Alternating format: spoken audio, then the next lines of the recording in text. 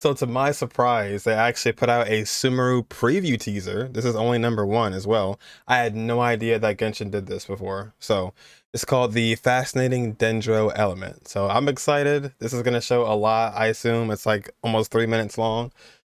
Let's go. There it is, man. Oh, there's a Dendro Element. Okay.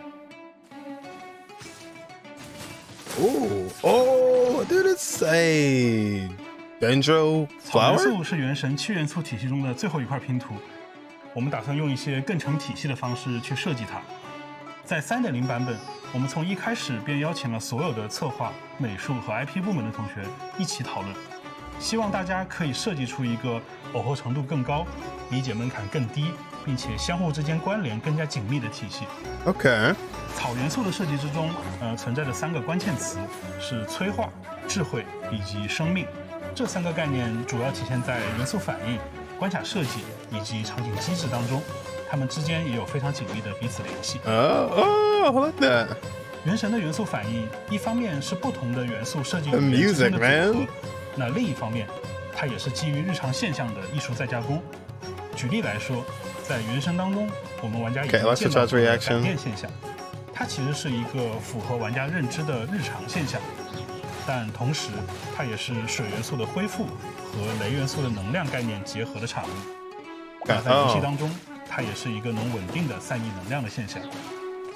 基于类似的设计理念，我们在3.0版本又推出了两个新的反应 reactions. 和激化。Bloom and 绽放的 catalyze. 灵感是来源于现实生活中花朵的绽放现象，那它同时也是水元素的恢复和草元素的催化两种概念的结合。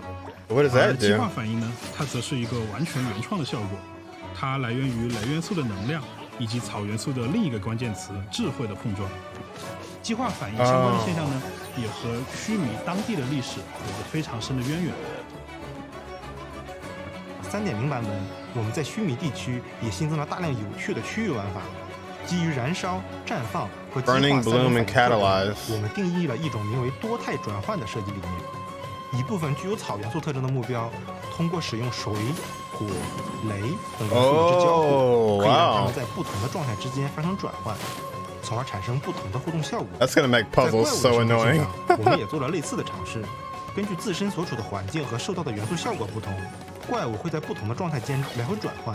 除了攻击方式 Oh, 会发生变化以外，在特定的状态下击败它们，还能获得罕见的特殊材料。 That's gonna be real different. 更多草元素相关的玩法，届时就需要玩家亲自去体验一番了。